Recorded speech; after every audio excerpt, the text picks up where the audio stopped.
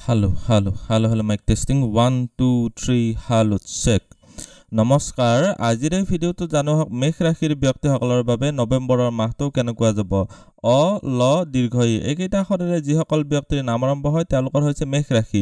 চ' এই ভিডিঅ'টো চাই যদি ভাল লাগে তেতিয়াহ'লে এইকেইটা আখৰেৰে নাম আৰম্ভ হোৱা ব্যক্তিসকলৰ সৈতে ভিডিঅ'টো শ্বেয়াৰ কৰিবলৈ নাপাহৰিব। আজিৰ এই ভিডিঅ'টোত আমি এই সকলোবিলাক দিশ ভালদৰে আলোচনা কৰিম। স্বাস্থ্য ধন উপাৰ্জন বা সঞ্চয়ৰ ক্ষেত্ৰত কেনেকুৱা হ'ব চৰকাৰী চাকৰি বা ব্যৱসায়ৰ ক্ষেত্ৰত কেনেকুৱা হ'ব ভাগ্য পিতা ধৰ্ম বা গুৰুজনৰ ক্ষেত্ৰত কিমানখিনি ছাপৰ্ট লাভ কৰিব পাৰিব প্ৰেম প্ৰসংগ বা বিবাহৰ ক্ষেত্ৰত কেনেকুৱা হ'ব সাধাৰণ শিক্ষা উচ্চ শিক্ষা এই সকলোবিলাক দিশ আজিৰ ভিডিঅ'টোত ভালদৰে আলোচনা কৰিম। চ' এই ভিডিঅ'টো শেষলৈকে চাই থাকিব। আপুনি যদি এতিয়ালৈকে মোৰ চেনেলটো ছাবস্ক্ৰাইব কৰা নাই তেতিয়াহ'লে ছাবস্ক্ৰাইব কৰি ল'ব আৰু ভৱিষ্যতে আপলোড কৰা ভিডিঅ'ৰ নটিফিকেশ্যন পাবৰ বাবে বেল আইকনটো চুই অল চিলেক্ট কৰি দিব। প্ৰথমতে জানো হওক আপোনালোকৰ স্বাস্থ্যৰ ক্ষেত্ৰত। ৰাশিৰ অধিপতি হৈছে আপোনালোকৰ মংগল গ্ৰহটো। মংগল গ্ৰহটো চতুৰ্থ ঘৰত আছে এইটো দিগবলৰ অপজিটত আছে আৰু মংগল গ্ৰহটো ইয়াতে নিচস্থ ৰাশিটো আছে। আপোনালোকৰ কাৰণে আটাইতকৈ যিটো বেষ্ট প্লেনেট আছিলে এইটো গ্ৰহ যিহেতু নিচস্থ ৰাশিত আছে।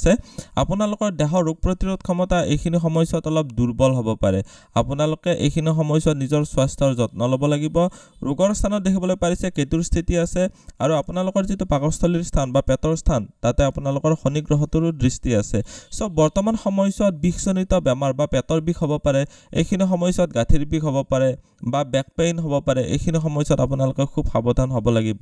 হতাশা বা ডিপ্ৰেশ্যনজনিত ক্ষেত্ৰতো আপোনালোকে এইখিনি সময়ছোৱাত অলপ বেছি সাৱধান হ'ব লাগিব পাৰিলে অলপ মেডিটেশ্যন কৰিব ডেইলি ৱাকিং অৰ্থাৎ খোজ কঢ়া আপোনালোকৰ কাৰণে বিশেষভাৱে লাভদায়ক হ'ব। খাদ্য খানা অলপ ভালদৰে খাব কাৰণ ৰোগৰ স্থানত যিহেতু কেতু আছে এইখিনি সময়ছোৱাত আপোনালোকৰ পেটটো অলপ বেছি চেঞ্চিটিভ হৈ থাকিব। কিছুমান বস্তু যিবিলাক হজম নহয় সেই বস্তুবিলাক যাতে এইখিনি সময়ছোৱাত নাখায় এইখিনি আপোনালোকে যদি সাৱধান হৈ চলিব পাৰে তেতিয়াহ'লে আপোনালোকে এটা সুস্বাস্থ্য মেইনটেইন কৰিবলৈ পাৰিব। এতিয়া জানো হওক আপোনালোকৰ ধন উপাৰ্জন বা সঞ্চয়ৰ ক্ষেত্ৰত কেনেকুৱা হ'ব?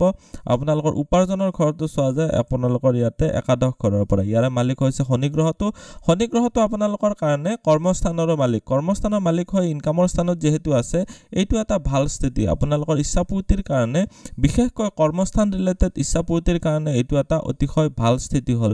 কিন্তু যিহেতু শনি গ্ৰহটো এটা পাপগ্ৰহ হয় আপোনালোকক কষ্ট কৰোৱাইহে আপোনালোকক ফল দিয়াব।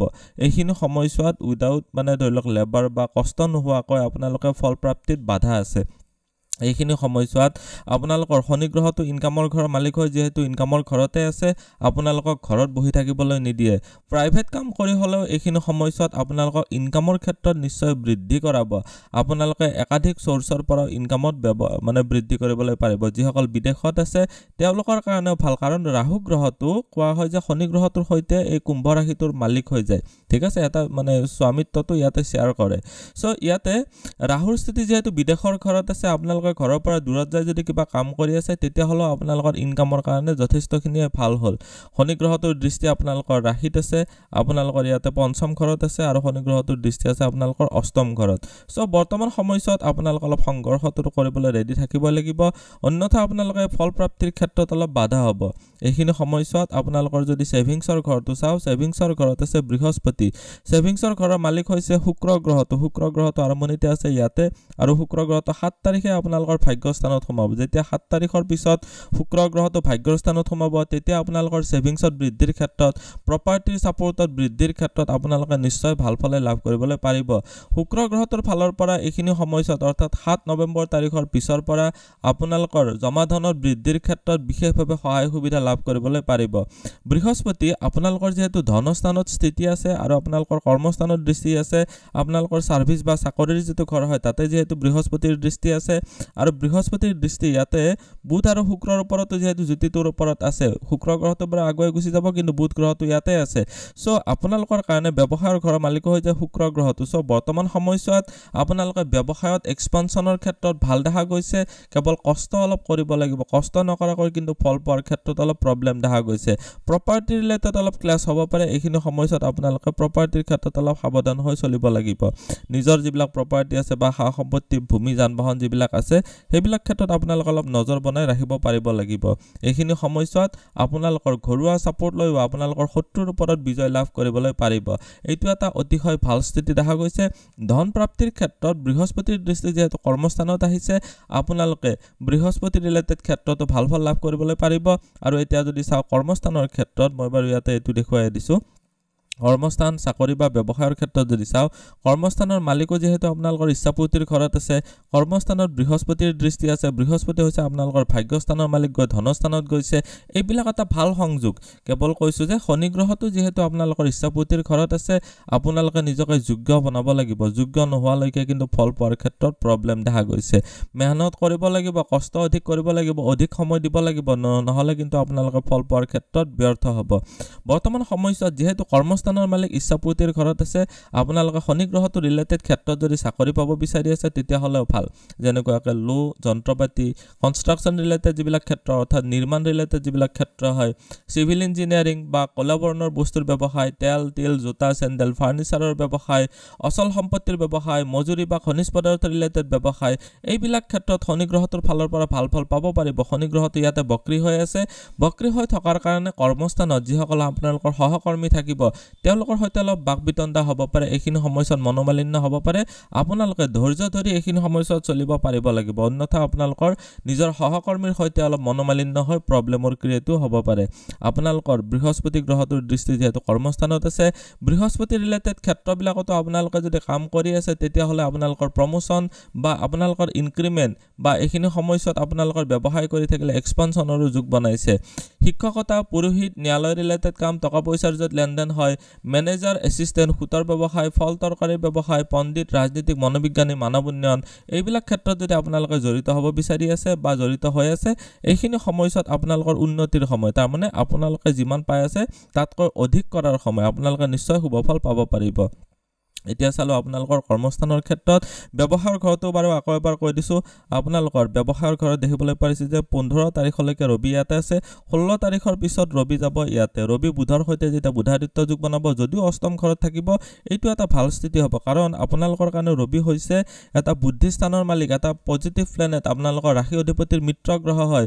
চ' বৰ্তমান সময়ছোৱাত যিহেতু পোন্ধৰ নৱেম্বৰ তাৰিখলৈকে আপোনালোকৰ ৰবি নিচস্থ ৰাশিত আছে ফল প্ৰাপ্তিৰ ক্ষেত্ৰত অলপ প্ৰব্লেম দেখা গৈছে। এইটো ৰবিৰ কাৰণে এটা অকাৰক ঘৰ হয়। এইখিনি সমস্যাত যিসকল বিবাহিত আছে মই বাৰু মিক্স আপ কৰিয়ে কৈ দিছোঁ।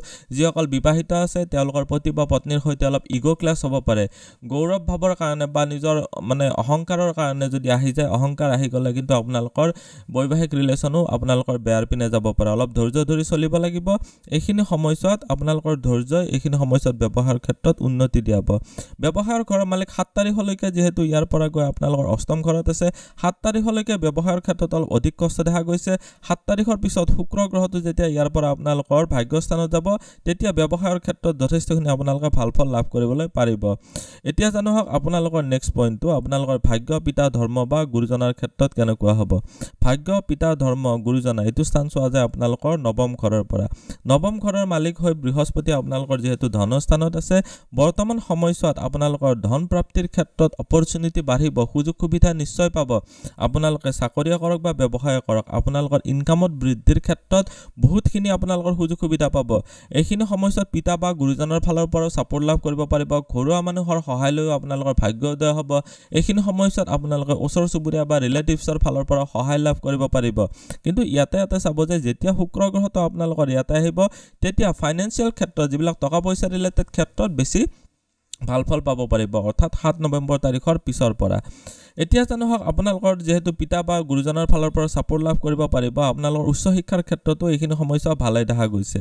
এতিয়া জানো হওক আপোনালোকৰ প্ৰেম প্ৰসংগ বা বিবাহৰ ক্ষেত্ৰত লাভ ৰিলেশ্যনশ্বিপ বা যিসকল বিবাহিত হয় তেওঁলোকৰ কাৰণে দুটাই কৈ দিছোঁ। যিসকল অবিবাহিত আছে লাভ ৰিলেশ্যনশ্বিপতে আছে তেওঁলোকৰ কাৰণে কৈছোঁ ৰবি আৰম্ভণিতে নিচস্থ ৰাশিত আছে যদিও বিবাহৰ স্থানত গৈছে যদিও লাভ মেৰেজৰ কাৰণে এটা সংযোগ বনাব কিন্তু ৰাস্তাটো ইমান ইজি নহ'ব। প্ৰচেছটো অকণমান কমপ্লিকেটেড কমপ্লিকেটেড হ'ব কিবা নহয় কিবা বাধা বিঘিনিৰ মাজেৰে পাৰ হ'বলগীয়াত পৰিব পাৰে। ৰবি নিচস্ত ৰাশিত থকাৰ কাৰণে এইখিনি সময়ছোৱাত আপোনালোকে অলপ অধিক কষ্ট কৰি পেলাইহে আপোনালোকৰ ৰিলেশ্যনশ্বিপবিলাক ভালকৈ ৰাখিব পাৰিব। বিবাহিতসকলৰ কাৰণেতো কৈছোঁ যে আপোনালোকৰ ইগ' ক্লাছ হ'ব পাৰে।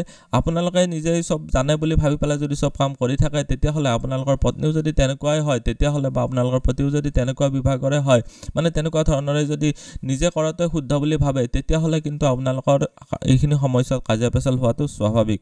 বিবাহিতসকলৰ কাৰণে কৈছোঁ বিশেষ প্ৰব্লেম নহয় পোন্ধৰ তাৰিখৰ পিছৰ পৰা যিসকল প্ৰেম সম্বন্ধতে আছে বা অবিবাহিতসকলৰ কাৰণে কৈছোঁ লাভ ৰিলেশ্যনশ্বিপৰ কাৰণে কৈছোঁ তেওঁলোকৰ কাৰণে অলপ ক্ৰিটিকেল সময় এইখিনি সময়ছোৱা অলপ ষ্ট্ৰাগল থাকিব। কাৰণ পোন্ধৰ তাৰিখৰ পিছত ৰবি ইয়াতে মিত্ৰ ৰাশিস্থ হ'ব যদিও এইটো এটা জলতত্ত্বীয় ৰাশিত যাব ৰবি ইয়াতে এটা ভাল ফল দিব নোৱাৰে। এইটো ঘৰৰ ৰবি ইমান এটা কাৰকো নহয়। চ' বৰ্তমান সময়ছোৱাত লাভ ৰিলেশ্যনশ্বিপৰ ক্ষেত্ৰত অলপ বেছি সাৱধান হৈ চলিব পাৰিব লাগিব।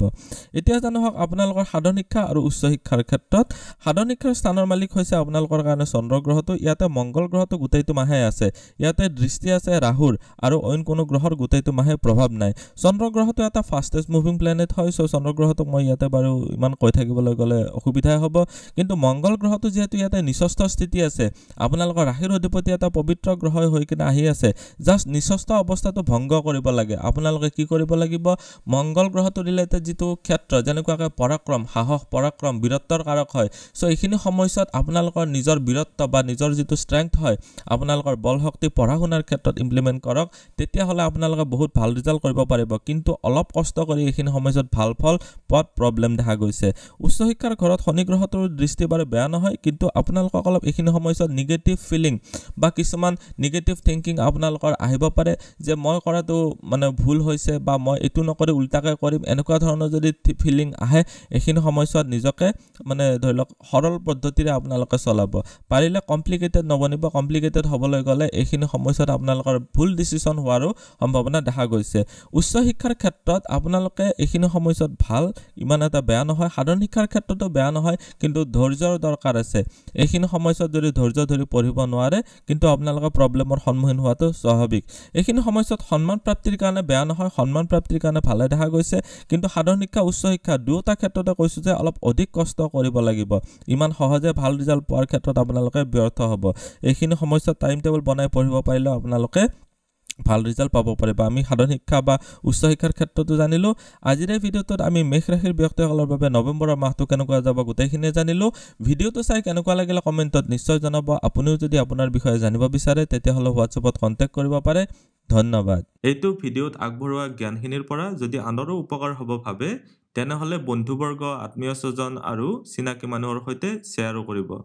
আপোনালোকে নেক্সট ভিডিঅ' কিহৰ ওপৰত চাব বিচাৰে কমেণ্টত জনাব। ধন্যবাদ।